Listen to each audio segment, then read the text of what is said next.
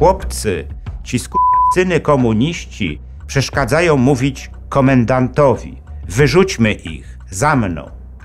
Tak minister spraw wewnętrznych Felicjan Sławoj Składkowski zawołał do policjantów podczas inauguracyjnego posiedzenia Sejmu, jakie miało miejsce 27 marca 1928 roku, w którym Piłsudski miał odczytać orędzie prezydenta Mościckiego. Komunistyczni posłowie zaczęli wówczas krzyczeć do Piłsudskiego: Precz z faszystowskim rządem Piłsudskiego. Oszukano nas. Żądamy amnestii dla więźniów politycznych.